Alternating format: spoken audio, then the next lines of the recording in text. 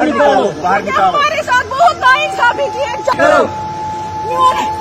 Request LG समझ।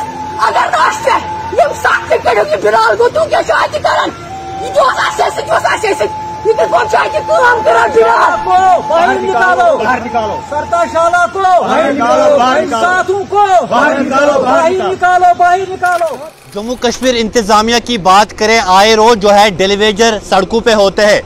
आज हमने अनोखा एहतजाज देखा पीएचई डिवीज़न बिजबियारा में। आपको तस्वीर दिखाने की कोशिश करेंगे, पीएचई डिवीज़न बिजबियारा में हम इस वक्त मौजूद है और यहाँ पे डेलीवेजर हजरात जो है, सरापा एहतजाज है। इनका कहना है कि 2015 में स्क्रीनिंग हुई और स्क्रीनिंग के तहत जो है, चौवन अपराध का लिस्ट बना जिनको डेलीवेजर ऑनलाइन करना था। लेकिन उसके बाद क्या कुछ हुआ? इन्होंने पैसे अदा किए यूनियन लीडर्स को और यूनियन लीडर्स को वहाँ पे ऑनलाइन किया गया, खाली चौवन में से जो है सात अपराध को ऑनलाइन किया गया। उसके क्या कुछ वजूहत है?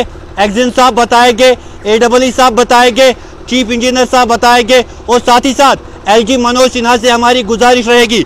ये जो आप महिला देख रहे हो इसने आज जो है, हद पार किए है। हद इसलिए पार किए है क्योंकि मजबूर हो चुकी है।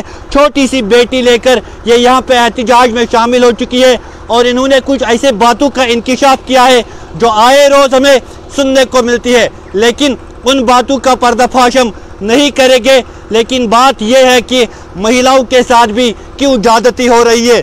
बुज़ुर्गों के साथ भी क्यों ज्यादती हो रही है? और ये नौजवान जिन्होंने अपनी जवानी के कीमती साल गुजारे हैं तो इनके साथ क्यों जाती हो रही है?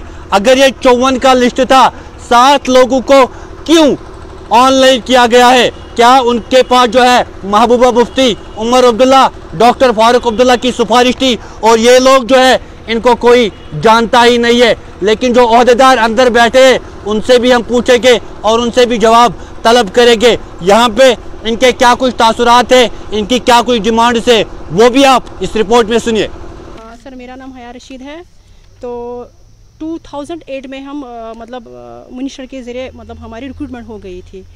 2015 में हमारी स्क्रीनिंग हो गई अच्छे से।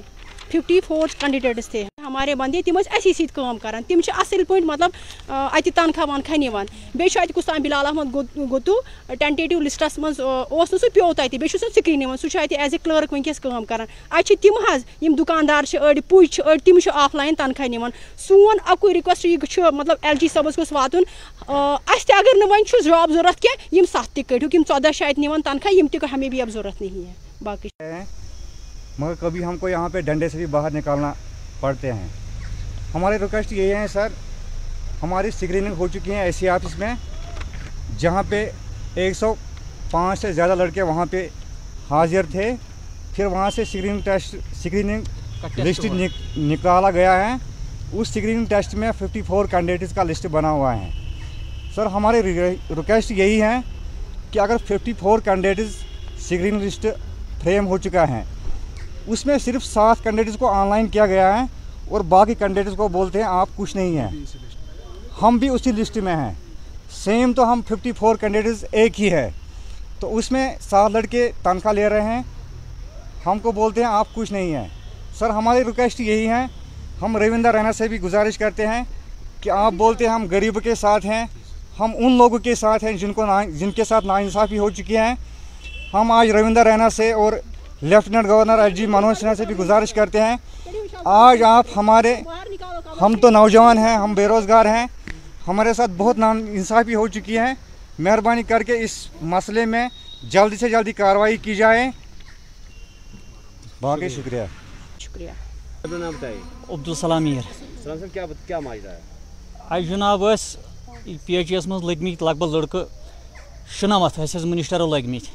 जनाब मोहतरम तथ पे गई कम अस कर पे स्क्रीनिंग स्क्रीनिंग मज हसा द्राय शुवंजा जनाब मोहतरम शुवंजा मज गई चुवंजा चुवंजा मज कर जनाब मोहतरम कम सत हज कर ऑनलाइन ये जन कैबिनेट सेंक्शन कागजात मिनिस्टरों कैबिनेट सेंक्शन दिसमुत तथ मज हेतुक इंटरव्यू बाजत एस आई तक कर चुवंजा मज सत ऑनलाइन सतजी सन त्रत अस पे कर ना इंसाफी अन गुजारिश कर यह तुम हम सतन सी कोरव यम सत तुम आनलाइन करव तिथ कर चुवंजा सी मतलब क्या फ़िक्र तरह हमारे हमारी ऑफिसर्स क्या कर रहे हैं यहाँ